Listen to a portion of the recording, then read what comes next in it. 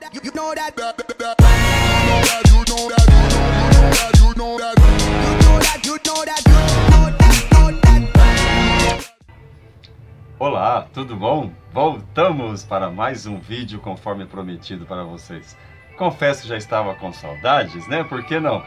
Fizemos um ontem falando sobre as inscrições, como se inscrever. Se você não assistiu, assista lá e aprenda a se inscrever. Ajude-nos, dá-nos uma força, porque estamos precisando muito do seu apoio, da sua ajuda. E a ajuda que você pode dar é a seguinte: fazendo seus comentários, dando o seu like, ó, ó, positivo, e também fazendo a sua inscrição. Quanto mais inscrições, mais eu vou me sentir assim apoiado, eu vou me sentir assim com muita vontade de fazer novos vídeos. Agora, se eu não tiver inscrições, não tiver pessoas inscritas, eu vou falar assim, pô, ninguém tá gostando dos meus vídeos, então eu vou parar, tá? Então eu não quero parar porque eu amo isso, eu amo o que estou fazendo, amo essas coisas lindas.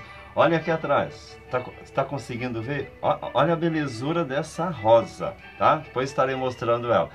Mas hoje nós vamos falar sobre isto aqui.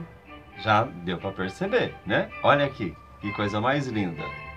É um abacaxi, certo? Mas esse aqui é o abacaxi ornamentário ou, como você quiser, abacaxi de jardim. Mas é abacaxi e ponto. Ninguém tem dúvida, né? Parece um abacaxi em miniatura, né? Quando você olha lá um pé de abacaxi, ele tá pequenininho, depois ele vai crescendo. E esse aqui, ele é muito lindo. Olha a copa dele. Olha isso aqui, que maravilha. Especial demais. Criador fez com carinho todo especial, como tudo que ele fez foi com carinho todo especial para mim, para você, para todos nós, certo? Ah, então hoje nós estaremos falando sobre abacaxi ornamental ou abacaxi de jardim. É assim, ele, essas folhas dele aqui tem uns espinhos danado. Você tem que tomar muito cuidado quando for trabalhar com ele. De preferência, não vá com as mãos assim, porque você vai ficar toda cheia de espinhos depois, tá? Mas aí que você pegar as manhas, tudo bem. Eu já não estou usando, porque né, já faz um bom tempo que mexemos com isso aqui. Então esse abacaxi de jardim, ou abacaxi ornamental, ele é muito lindo. E você pode ver que esse pé aqui tem um, dois e três, tá? Este aqui, eu já deixei ele, olha, eu, tá? Tá até com araminho aqui para mostrar para você o, o próximo passo. Então ele vai nascer, vai dar a folhagem assim normal, tá? Eu vou virar aqui um pouquinho para você ver o vaso onde ele está, olha.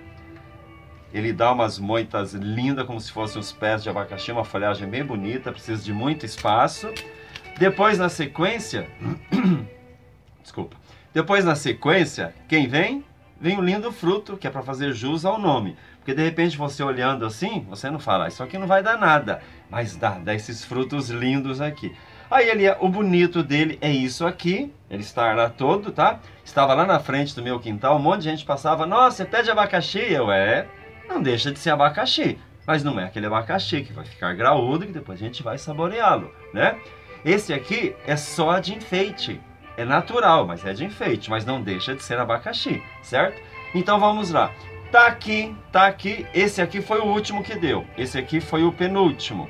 E esse aqui o antepenúltimo. Então já vou tirar para mostrar para você o que acontece, tá? Então assim que ele se seca, olha aqui, o ferrinho onde ele estava amarrado. Pus aqui um pedacinho de, de, de fio para segurá-lo, para não cair, tá? Assim que ele se seca, olha aqui, o pezinho dele. Fica sequinho, fica aqui, depois você tem que cortar. Agora então vamos na sequência. Ele ficou sequinho, Paulo, e agora? Eu jogo fora? Eu planto, o que, que eu faço? Não, você não joga fora, você vai plantar. Aqui é uma nova muda. Então o abacaxizinho, olha, estava aqui embaixo, certo? Ó, tá sequinho. Aí você faz isso aqui, ó, ó, para lá, para cá. Quando ele tiver sequinho, o abacaxizinho descarta, porque não é comestível, tá? Isso aqui, quando ele estiver sequinho, ele vai fazer esse ponto aqui. Que você vem aqui, vira ou para lá e para cá, ele solta como se fosse duas partes. E é, são duas partes. O abacaxizinho você isola, tá? Depois você vem aqui no pezinho dele, olha, e tira todas essas partinhas secas, tá? Ó, tira todas essas partinhas secas deixa ele só as verdinhas bonitinhas. Aí as que estão mais embaixo também pode tirar. Olha essa daqui, não tá seca, tá? Mas vamos tirá-la para ficar um pezinho maior, um tronquinho maior. Depois que você tirou as folhinhas, Paulo, já posso plantar? Calma, não é tudo às pressas assim não, tudo a seu tempo, menino. Então vamos lá. Depois que ele está assim, olha, tá? Está verde aqui. Eu não posso plantar agora porque vai dar problema. Pode ter alguma, algum probleminha na terra, algum bichinho indevido e aí vai saborear. Porque isso aqui deve estar docinho para as bactérias, né? E elas vão saboreá-las e elas vão comer todo o tronquinho dele e não vai chegar a nada. E aí após, Paulo, então o que, que eu faço? Deixa lá, pendura, lá na lavanderia, lá embaixo da mesa, lá naquele quartinho da bagunça, deixa lá uns dois dias nessa posição. Amarra uma linha, um barbantinho e pendura lá, deixa. O que, que vai acontecer? Ele vai dar uma secadinha aqui. Não vai ficar verdinho como está agora, ele vai se secar. Depois que ele secou, aí nós vamos plantá-lo. Então, pelo menos 48 horas após você mexer com ele, você deixa lá secando. Repetindo, olha, amarra uma linhazinha, põe lá na lavanderia num local que não pegue sol direto nele, pode ser claridade, mas assim que também não, pe não pegue umidade, tá? Para ele poder se cicatrizar, secar. Paulo, passou dois dias, e daí? Ah, ótimo. Depois de dois dias, você vai plantá-lo. O solo do nosso amigo aqui é um solo arenoso. Abacaxi não gosta de muita água porque ele apodrece, porque todo aquele fruto dele já é água. E aqui, se você apertar aqui também, praticamente, digamos que é quase parente das suculentas, né? Então, não gosta de solo encharcado. O solo próprio dele, esse aqui, olha. Ó. Bem arenoso. Mas que solo é esse, Paulo? Aquele, aquela terra preta orgânica que já é vendida por aí, porque ela é feita com restinhos de madeira, com terra apodrecida, com um pouquinho de humus, com galinhos e folhas que se secaram e apodreceram. Então aquele, aquela terra preta muito boa, eu compro os pacotes de 20 quilos aqui na minha região, aqui onde eu moro, é de 10 a 20 reais. São 20 quilos de terras. Eu acho um preço até razoável, né? Apesar de estar comprando terra, né? Mas tudo bem. Depois, então eu coloco meio a meio metade dessa terra preta e metade de areia grossa, areia de construção. Quanto mais grossa, melhor. se tiver ainda umas pedrinhas, deixa que é melhor ainda. Aí mistura bem esses dois componentes, a terra preta e a areia.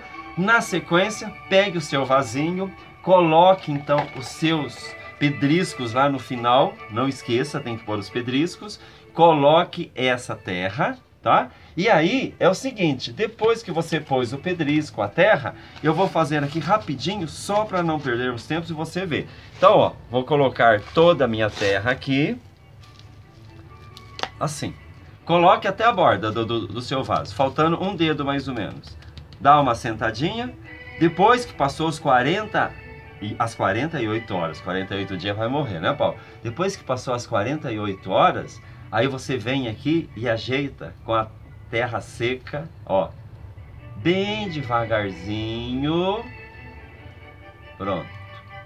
Não tem que apertar a terra, não tem que fazer mais nada. Fez isso daqui, coloque lá num cantinho, onde não pegue muito sol na primeira semana. Vá lá com o regador, regue, tá? Com abundância para molhar as folhinhas e a terra e aí vai estar tá lá com as pedrinhas embaixo, a água vai passar tudo, vai deixar a terra úmida. Água todos os dias. Se estiver seco. Se estiver chovendo, só pôr lá fora não vai precisar. Se o tempo estiver frio e não chover, dia sim, dia não. Repetindo, se estiver seco, calorzão, água todo dia. Se estiver chovendo, deixe lá que o papai do céu mole. E se estiver frio, mas não estiver chovendo, então coloque água um dia sim, um dia não. Depois que ele enraizar, pode ficar tranquilo. Se você esquecer de pôr água, ele não, não reclama não. Ele vai embora, tá? E aí, você em breve terá os seus abacaxizinhos. Este aqui, olha a diferença desses dois. Vamos ver se você observa. Olha. Paulo, esse aqui tá verde, esse não. Esse aqui tá em garrafa de leite reciclado, esse aqui tá em vaso, tá? É o mesmo.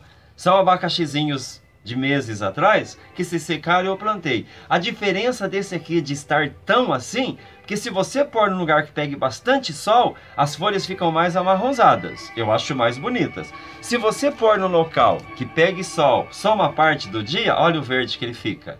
Mas não impede dele dar frutos também, tá? Mas o aconselhável é que ele fica no local que pegue sol, digamos, o dia todo tá? E aí, em breve, quanto tempo tem esses dois, Paulo? Eu replantei eles dois em dezembro. Olha como já estão bonitos.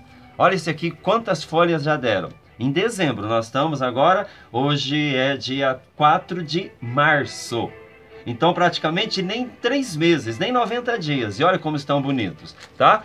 E aí, uma coisa boa, olha isso aqui. Olha que coisa mais linda. Essa aqui foi o último abacaxizinho que eu replantei.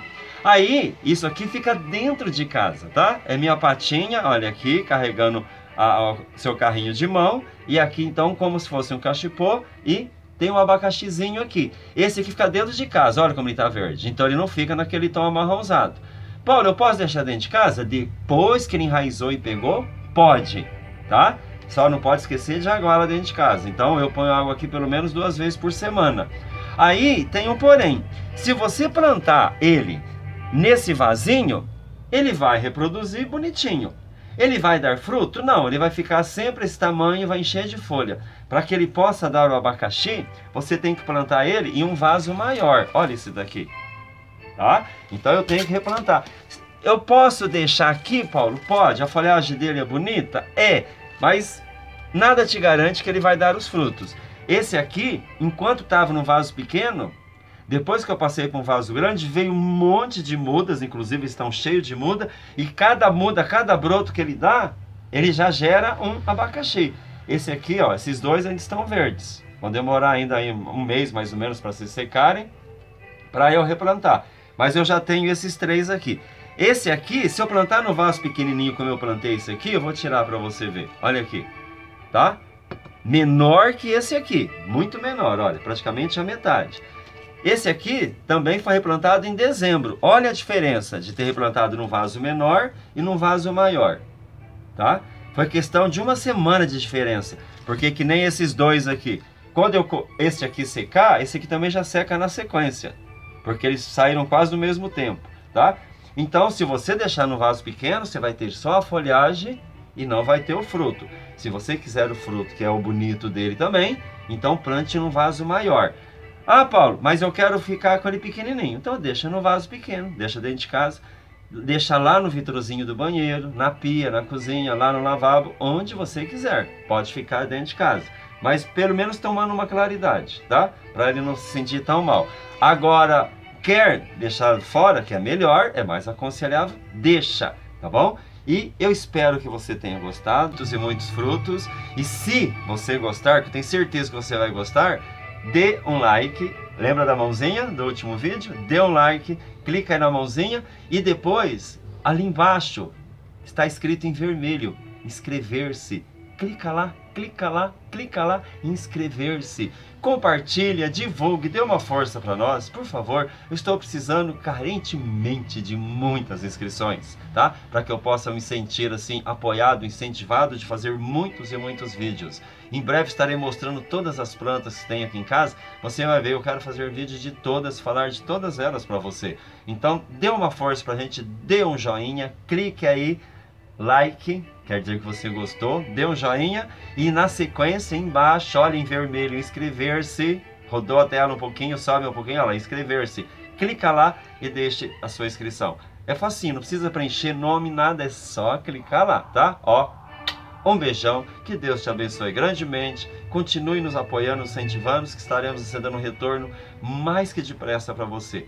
Até o nosso próximo vídeo. Lembrando que esse é o nosso décimo primeiro e vamos fazer o possível para ficar com dois ou três na semana. Vai ficar puxado, corrido para mim, mas eu consigo se você me der o apoio, se você me incentivar. Como?